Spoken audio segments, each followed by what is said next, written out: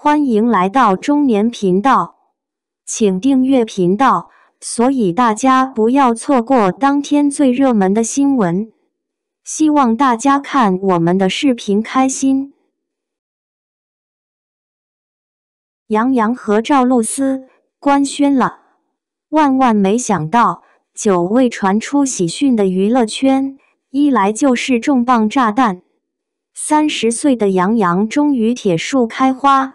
官宣对象还是甜妹赵露思，消息一出，震惊了所有人。要知道，这两人过去可是八竿子都打不着的一对啊！热搜里两人一颦一笑、一举一动，还真有恋爱的样子。在媒体爆料的视频中，两人就在片场旁若无人的玩起了投喂，让不少网友都直呼。这已经是热恋的样子了吧？原来这是在为即将上映的电视剧《且试天下》官宣造势。不管剧情如何，至少男女主的 CP 氛围感已经拉满。不少网友都表示十分期待他们在正片里的互动。作为男主角的杨洋也成为了话题的中心。前有特战荣耀，后有且试天下。看来这个四月注定有杨洋的一席之地。杨洋可以说是上天的宠儿，无他，很少有人能当得起小说里那种倩衣怒马美少年、风神俊秀此潘安的描述。一十七岁的杨洋就这样在万人试镜的现场脱颖而出。被李少红老师一眼相中，成为了新《红楼梦》的成年贾宝玉一角。他一登场便摘得 BQ 推荐年度新人奖的荣誉，而极高的起点，以至于他在后来的很长一段时间都并不起眼。不是表现不好，只是不够出彩。毕竟超越别人容易，但超越自己不易。为了更好的磨练演技，他干脆一头扎进了剧组。你敢相信上面这张图不是别人，居然是杨洋吗？这是他在《新洛神》里的扮相。在这部剧里，他一路从青年演到中年，挑战了角色心路上的转变。在《战争不相信眼泪》里，他很好的展现出一个少年。在面对国家大事和懵懂爱情中的抉择与不舍，他的演技虽然青涩，却也能看见日后的成长。但机遇并不会等人成长。一十五年，书改风盛行，他优越的外形条件使他接到了不少改编剧的邀请，因而，在很长一段时间里，他都在拍着同一类的戏。从《盗墓笔记》到《微微一笑很倾城》，再到《全职高手》，他塑造了最贴合粉丝理想中的那个形象。这些剧也成就了他，他的名字被越来越多人提及。而与名气一同而来的是对他的质疑。在部分人眼中，杨洋只会在偶像剧里耍帅，有着一流的名气，却只有三流的演技。杨洋从来没有想过辩驳什么，他只是将质疑声化作自己前进的动力。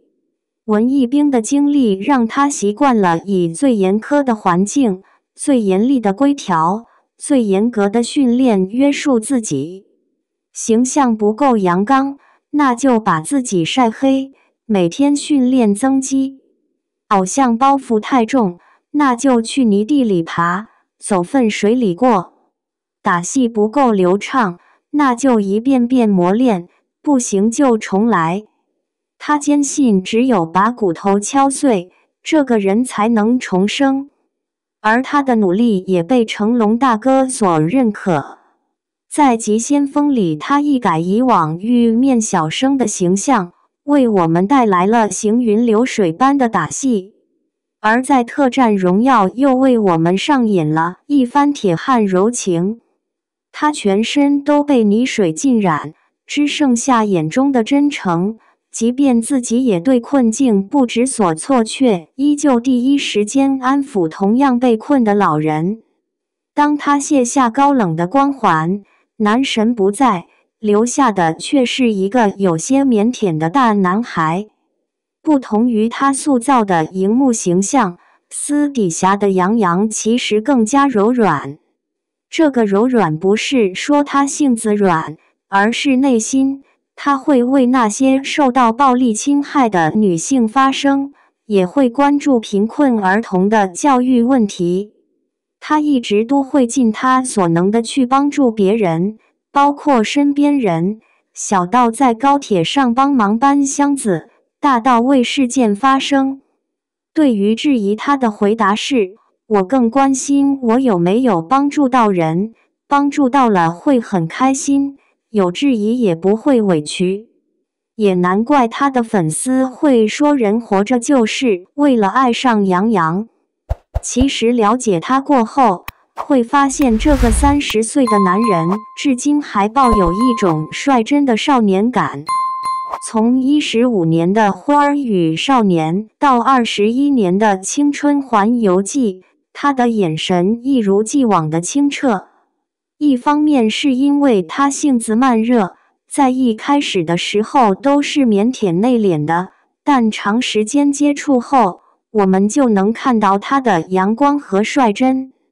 这也让他总能为节目贡献出精彩的片段。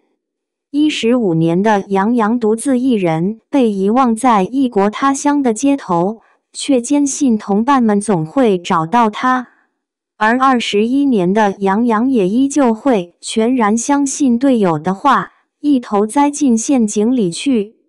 他对待人或事物的时候，有时候纯真的有些傻气，但这也正是他的可爱之处。他会在演戏的时候让助理拍下自己每一场戏，不断去自我调整。他从来不是天赋型选手，就像当初入学军艺，他的基础并不像其他同学那样扎实。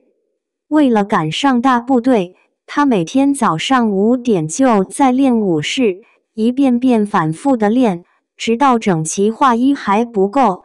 要做到形神兼具，才会停下休息。那段时光也让杨洋成为了一个不轻易言弃的人。而现在的他，不光是为了达成粉丝的期待，也是和与自己较劲。他其实有点英雄主义，会认为男人就是要吃苦，也不喜欢塑造太多他有多么努力的形象。演员在武打戏的拍摄中。因为亲自上场的缘故，难免会负伤。但即便是脸上被剐蹭掉一块肉，他也叮嘱身边的工作人员不要外传，却仍然被粉丝发现。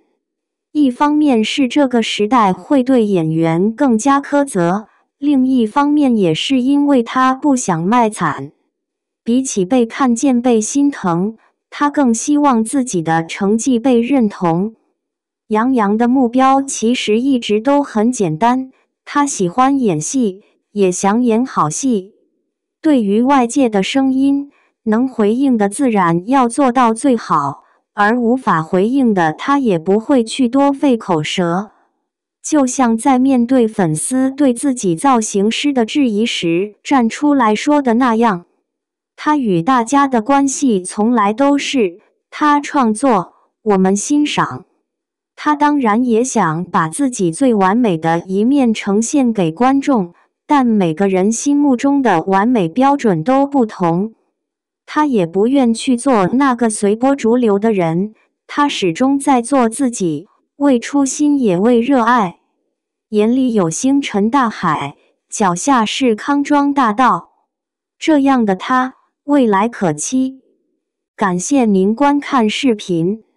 如果您觉得本时事通讯有用，请不要忘记点赞、评论和订阅。